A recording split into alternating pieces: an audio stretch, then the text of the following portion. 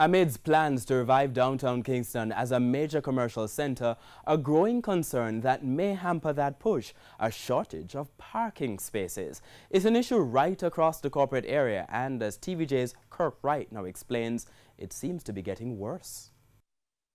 Try finding legitimate parking in Kingston City and you could end up a frustrated motorist. The parking is not adequate for um, the customers in this metropolitan area? It is a challenge because um, especially if I have to go on the road during the days, during the week, it's very difficult to find parking. Half Way Tree and downtown, I prefer to charter a taxi to take me if I have to do business in those areas during the week.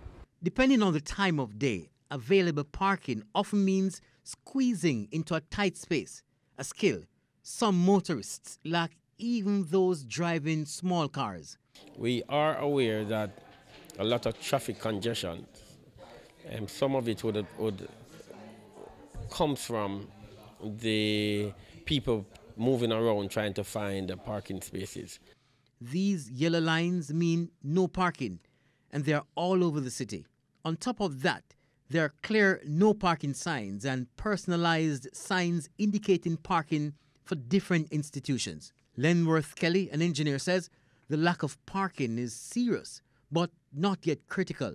We are certainly headed there. Motorists disobey warnings and park illegally almost daily. But there's a price to pay, and today, this man will have to dig deep in his pocket to get back his car. On a typical day, wreckers operated by the Kingston and St. Andrew Municipal Corporation, KSAMC, will tow approximately 40 cars in total.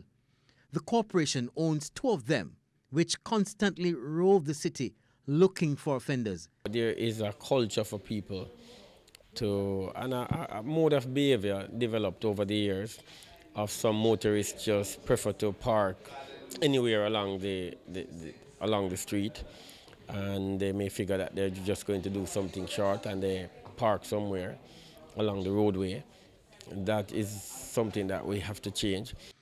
But people doing business in the city want safe and convenient parking, the one thing most businesses lack. For example, courts, courts there.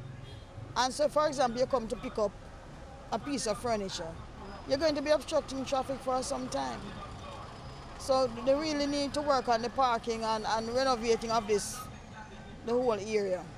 Geraldine Smith double parked recently when she went to an ABM on Lower King Street. The parking is way over on the courthouse side and um, you have to drive all the way upstairs and then walk all the way back down here. If you're coming to get cash, you're going to have to walk all the way back up there with that. I don't think that is safe. These are common scenes on King and Orange streets, vehicles loading up for delivery, but that adds to the congestion downtown. The hassle in finding legal parking is more difficult in New Kingston. The KSAMC operates several parking lots in New Kingston, which are usually full. After 5, when the lot officially closes, there are different and unauthorized arrangements. A few multi story parking garages exist in the business district, but they do little to ease the parking problem. Kirk Wright, TVJ News.